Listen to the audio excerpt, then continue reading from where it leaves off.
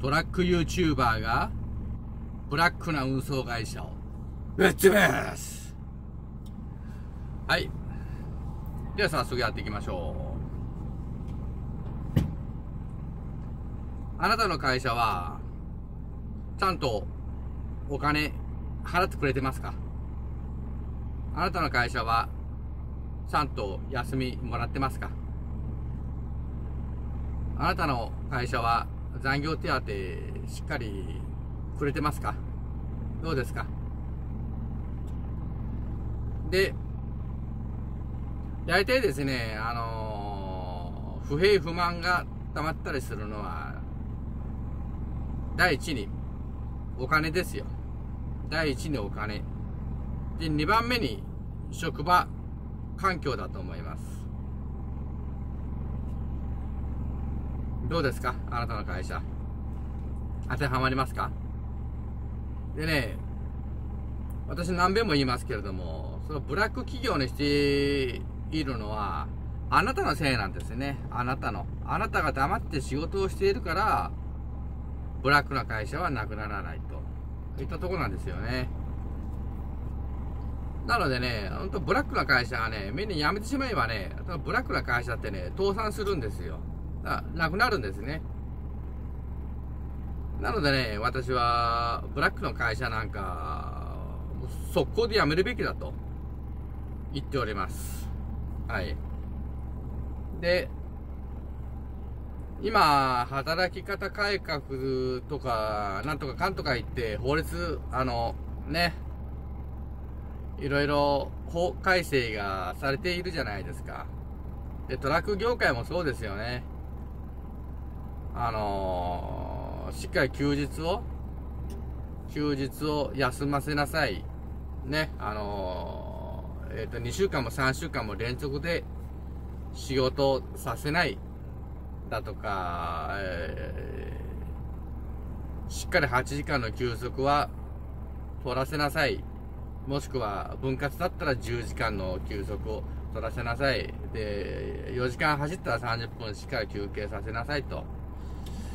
いったことでね、随分と、あの、今、運送会社もね、変わってるとも思いますよ。ね。で、そんな中でですね、あのやはり私たちは、休みも欲しいけれども、お金も欲しいと、いったとこですよね。で、まあ会社によってはね、ほほんと、休みが多い土日が休み、残業もない、ね、定時から、定時から定時って言ったらおかしいな。ね、8時から5時までのその定時内で収まりますよと言うんであれば、まあそういう会社はね、あのー、まあ給料も安いと思います。そう仕方ありません。一般のサラリーマンと一緒ですよ。デスクワークをしているか、まあデスクワークと言わず、まあ、1日8時間？1, ?1 日8時間の仕事しかしないんであれば、いくらトラックドライバーでも、それは安いと思います。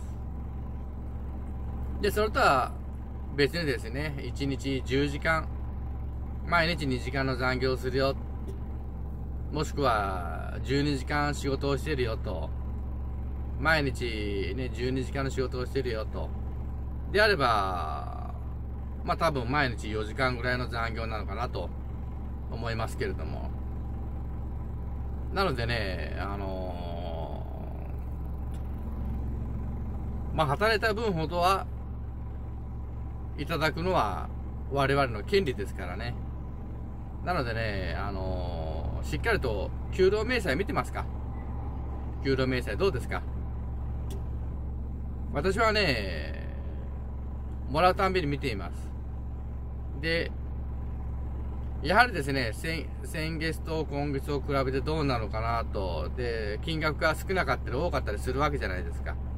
多かったら多い方でね、なんで、前の月より5000多いのかな、1万円多いのかなと。で、逆にですね、これ少なかったら、なんで前の月よりは少ないのかなと。で、その原因をね、見ます。で、おかしかったらね、会社に言います。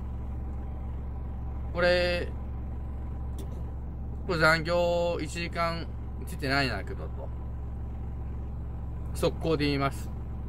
で、まあ、先々月だったか、あの、申告しましたら、ちゃんと翌月にね、あの、支払ってくれました。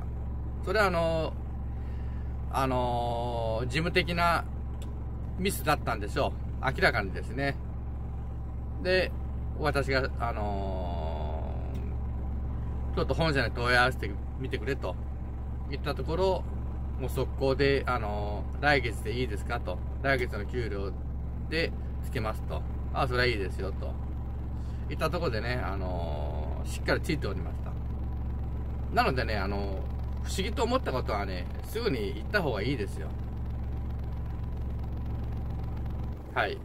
で、多くのね、人たちはね、給料明細ね、ほんと見ない人が多いですね。で、中にはね、給、あのー、封を開かない人もね、ずいぶんいます。え、それでいいの？と。いや、どうせ見ても毎月一緒やからと。一緒やからと。そんな人もいますけれどもね、まあ、そういう人は多分、あのー、ね、給料が良かろうが悪かろうが、そんな気にせんのでしょうね。でももしかしたらね、あのー、ついてないかもしれませんよ。もしかしたら。もしかしたら。まあ、全面的に会社を信用しているというんであれば、まあ、それはすぐ、それはそれでね、いい会社に勤めているんだなと、信頼しているんだなと思いますけれども、私はですね、やはり、あの、人間のすることなんでね、どっかあの、付け間違えたりね、なんかおかしいところがないかなと思って、あの、疑っているんではないですけれども、まあ、毎月見ますね。はい。で、そんな中で、あの、ブラックの会社というのはね、あの、本当本当稀なんですけれども、例えば、あの、本当月に50時間、50時間残業していたとするじゃないですか。そしたらね、本当ね、悪意がある会社というのは、その50時間働いていても、どっかでごまかして、30時間だったりね、20時間だったりとか、あのー、ごまかしているような会社もね、あります。そういう会社はね、あります。で、例えば従業員が10人いるとするじゃないですか。その中からね、あのー、1人ずつ、1人ずつ残業を2時間ごまかした、3時間ごまかした。それをね、1年間トータルすると、会社は会社はそんだけでね、あのー、ずるい、ずるい利益が出ますよね。ね。そういうことなんですよ。で、決してあなたの会社が、そのブラック、ということを言ってるんではないんですが、まあ、給料明細ぐらいはね、気にした方がいいですよ。で、本当にね、見てておかしかったら会社に言うべきです。で、その証拠をね、しっかりと取っておくことです。今頃デジタル、デジタゴで残りますよね、証拠が。ね。で、まあ自分でもね、自分でも何時から何時までやったというのをしっかりと残しておいて、で、おかしかったら、あのデジタゴの、その1ヶ月のトータルの出してくれと。見せてくれよと。まあ、運転日報見れば分かりますよね。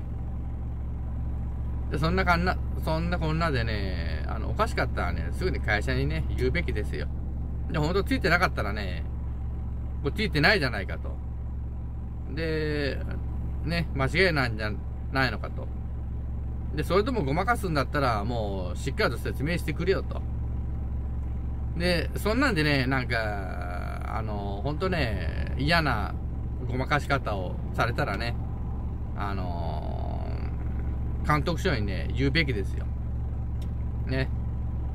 監督署もね、忙しいのか、こいつら、その、こう、まあ、そいつらは、そいつらって言っちゃあれですけど、あの、それが仕事なんですよね。本当に正規に、あのね、事業やってるかというのを監督する立場にあるので、でね、こっちが、ね、あのおかしいんじゃないかと、調べてくれよと言ったら、調べてくれるはずです。はい。なのでね、あのまあそれでもね、いや、自分クビになったらいけんしな、というんであれば、というんであれば、まあ我慢しなさいと。それが嫌であれば我慢しなさいと。その代わり、何も変わらないよと。あなたはずっと損したままだよと。納得がいかないまま、納得がいかない会社にずっと雇われてると。まあそれでいいんであれば、いいと思います。はい。それは、ね、あのー、そこまでは言えませんので。でもね、あの、本当この会社戦ってやろうとかね、あの、思うんであれば、監督署に言うなり、ね。で、あと、あの、無料の弁護士、無料の法律相談もね、やってくれるので、ね、労働に関して。で、あなたが住んでいる町でもね、絶対あの、無料相談、法律相談がね、あります。そこでね、弁護士の方に、あのー、ね、私はこうこうこうやって働いてるんだけど、残業がね、残業が50時間やってるんだけど、これ残業見てくださいよ。これ10時間しかついてないんですけど、と。で、監督署にも言ったんだけど、監督署もなんか、なんか似たような返事せんし、どうしたらいいですかね、と。言ったらね、あのー、いい答えをね、くれると思いますよ。はい。で、何にも行動しなければ何にも変わらないですよ。まあ、それでいいんであればいいんですけれども。でね、だから、だからブラックな会社というのはね、調子に乗っているんですよ。ほんと調子に乗って。従業員をね、いいように扱って、ね、安く、安く扱ってですね。で、社長はいい車に乗ったりね、で、パチンコに行ったり、競馬に行ったりね、そういう人ね、多いですよ。ブラックの会社は。ね、ほんと。まあ、社長は、その会社を立ち上げるために、まあ、まあ一応の何らかの努力はしてると思うんですけれども、でもあとはね、その、やっぱり従業員やっての会社なのでね、ね、そんなのあのー、働いた分は払う義務があるんです。なのでね、そんな、給料をね、あやふやにするようなブラックな会社はね、とっとと潰れてしまえと、私は本当思いますよ。はい。なのでね、あなたの会社はいかがいかがですかということです。で、休みもない。で、過酷な労働、労働条件。ね。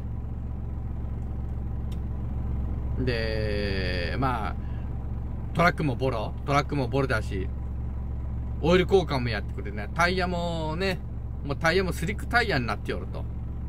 そういうところも多いですよね。タイヤもね、もうツルツルになってるのに、まだ買えないかといった会社もね、ちょくちょくあの、ツイッターなどを見てるとね、なんかね、そんな会社ありますね。はい。本当にね、変えてくれないと。いったようなところも。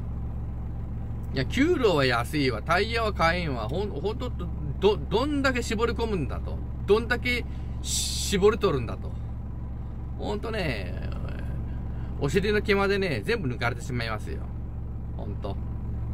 なのでね、そういう会社にね、あのー、しがみつくことはね、ないですよ。そんな会社はね、とっとと潰れればいいんですよ。本当に。はい。と思います。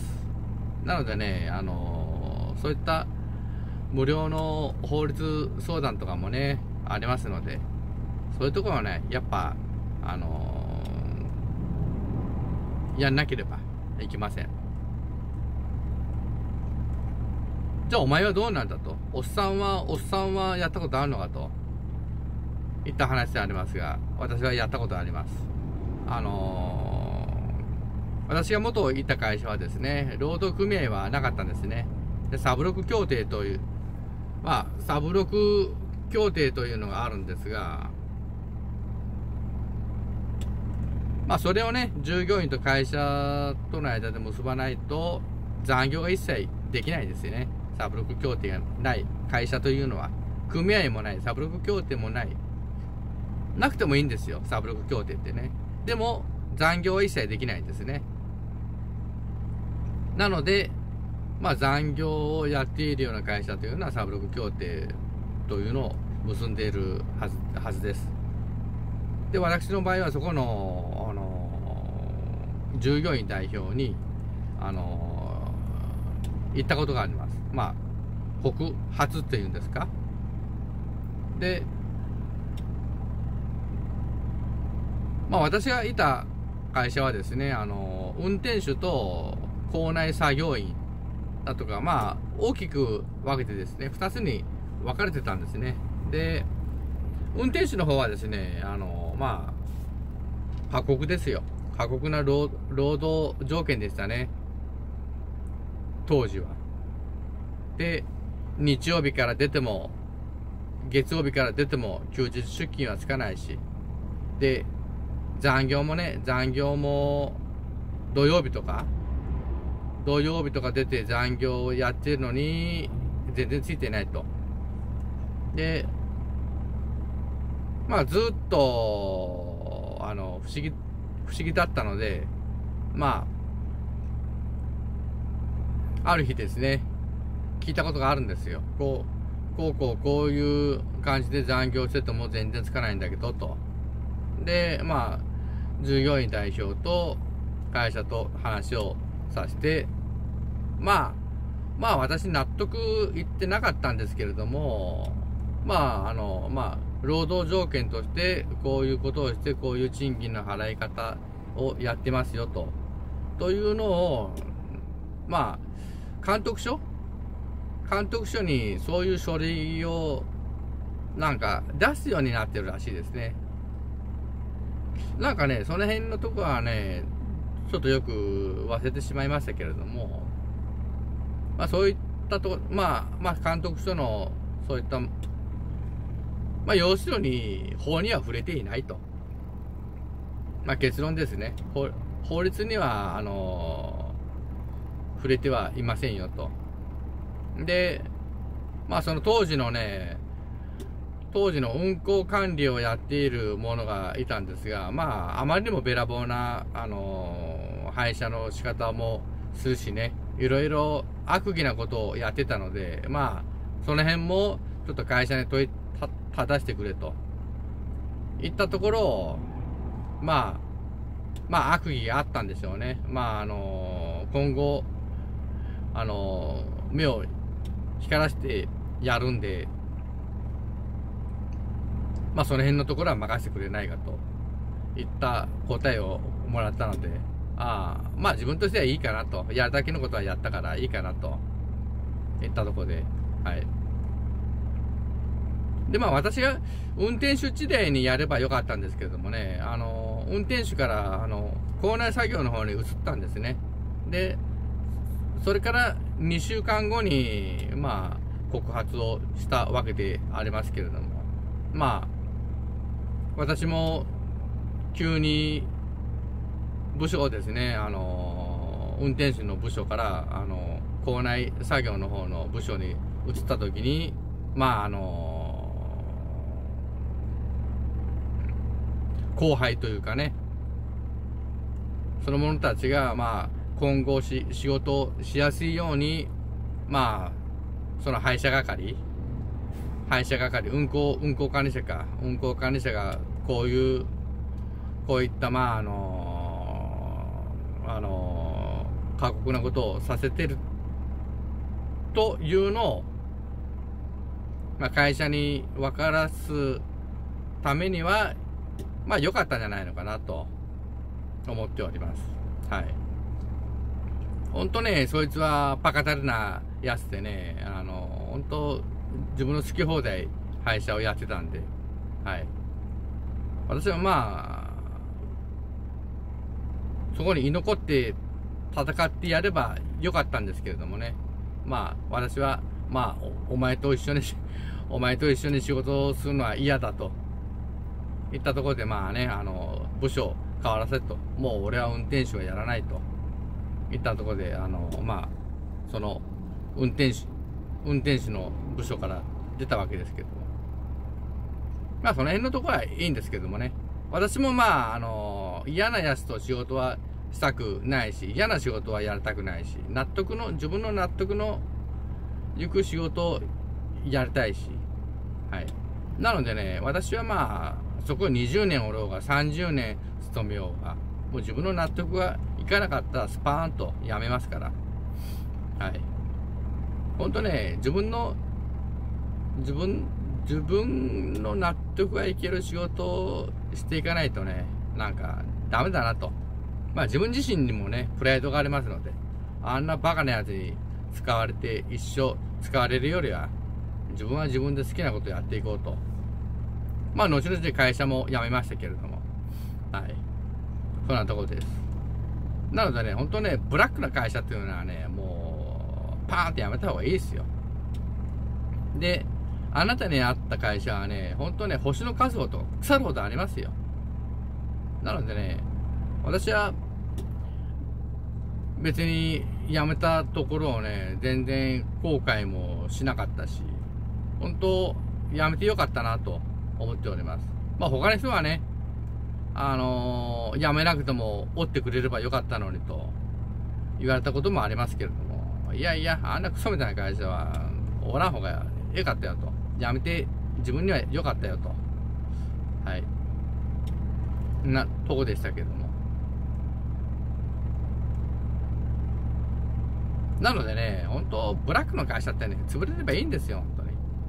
まあ、今はですね、そこの会社はですね、あのー、まあいろいろ激変しまして、激変しまして、株主も変わりまして、でまあ、さっき言ったそのバカタレも定年退職でおらんことになったみたいで、はい。